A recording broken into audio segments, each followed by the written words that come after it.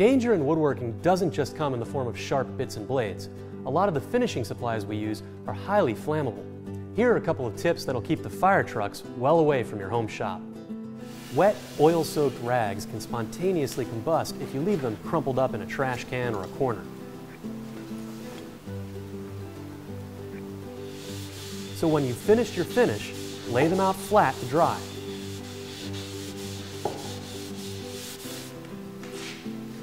Once they're stiff, it's okay to toss them. Here's another one. You've taken care to mix the perfect combination of oil and mineral spirits for your latest project. You've wrapped things up, but now you're left with a jar of leftover finish you'll never use. What do you do with this stuff?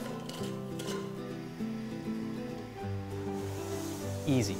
Grab some sawdust or wood shavings from your shop machinery, place it in a container, and pour your finish over top. The shavings soak up the unused finish.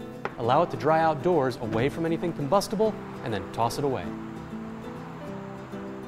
With any luck, you'll never have a need for one of these.